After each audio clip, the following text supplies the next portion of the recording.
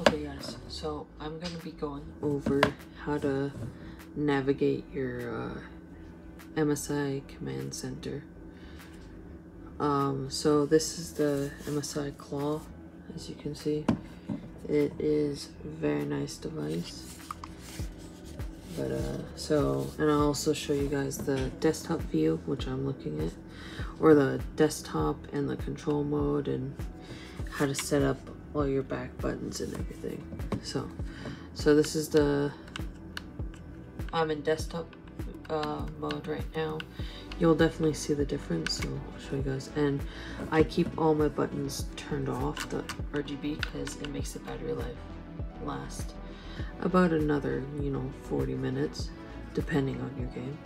So to get to the command center, you can either press this, um, or you can press right there, which is the same thing. And then, you know, game library. So if you're just setting up your device, it will just have like add game, game library.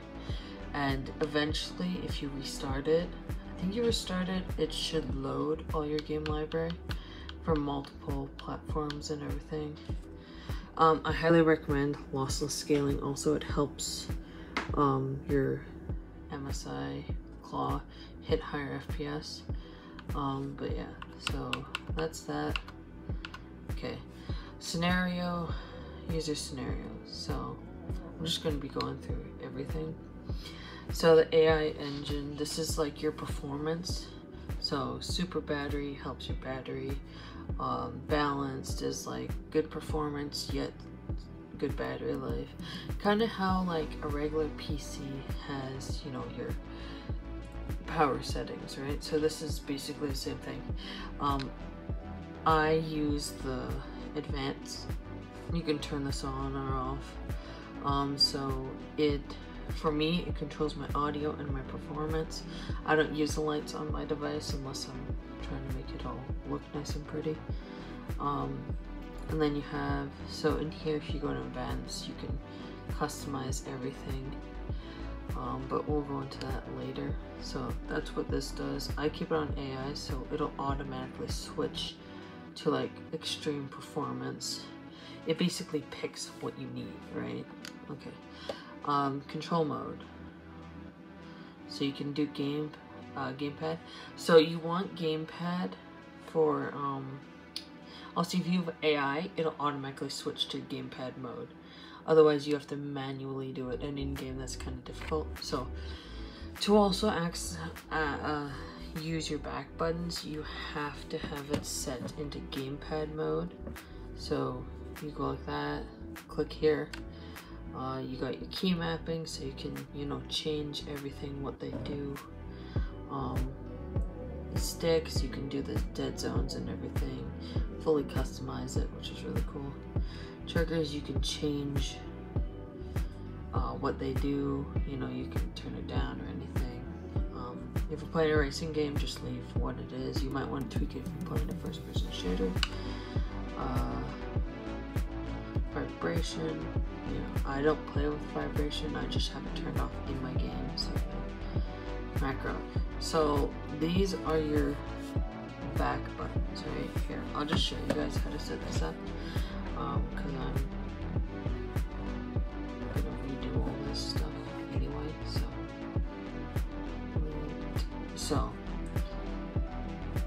first you want to pick which key, so whichever key you want on here. So let's say you want like your A or B button, or you want, you know, your, you know, let's say your up D-pad, so you press record you want to do it quick because you want, when you press the back button, you want it to register like that quick.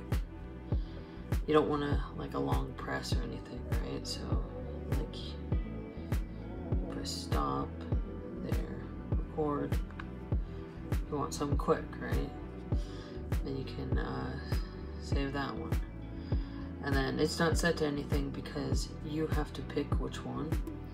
So, and they say on the back, so this one will say M2, M1.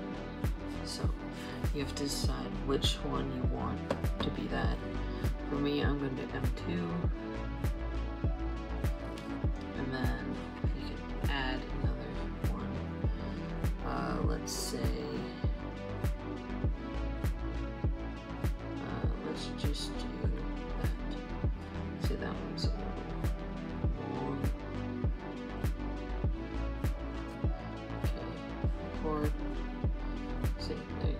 Said stop.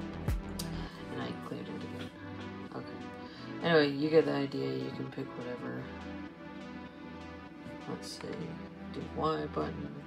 Yeah, stop. Save. I'm gonna set it to M1. Save. And there, you have that all figured out right there. So that's how you set it up, and you can turn it on. You can. So, as I said before, you have to have it in gamepad mode. I'm just gonna switch to desktop mode real quick just to finish showing you guys. Um, news and updates. That's if you need to update anything. There's no update. You can scan, but mine should be up to date, and if it's not, I'll be updating. But uh, so yeah, it says uh, your BIOS level scan all the updates and everything here. But yeah, uh, I didn't mean to press that. Okay. Um, Wi-Fi, Bluetooth. This is how you can go through all that settings. Uh, and then you can go more settings. So this would be your mystic lighting. So you can set up these, and it also does the same for here. Breathe, steady, color cycle, info mode. So switch your colors. Um, you can do rainbow. You can do slow,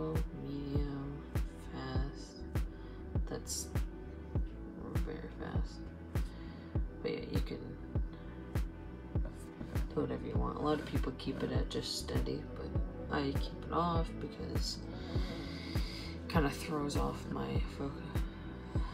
Focus. So yeah, then we got you know all this stuff. You uh, this one that can switch audio. I just keep it on gaming because that's all I ever use this for.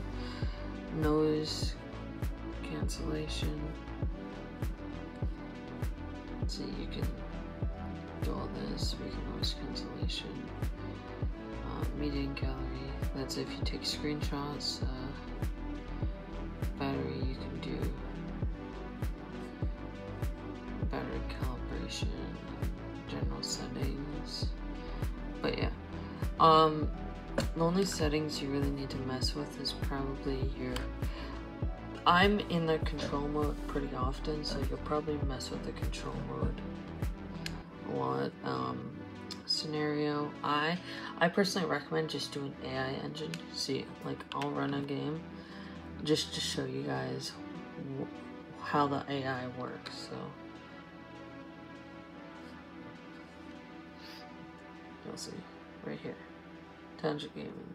See, that's AI and it'll automatically switch to it which is great that it'll automatically switch to it.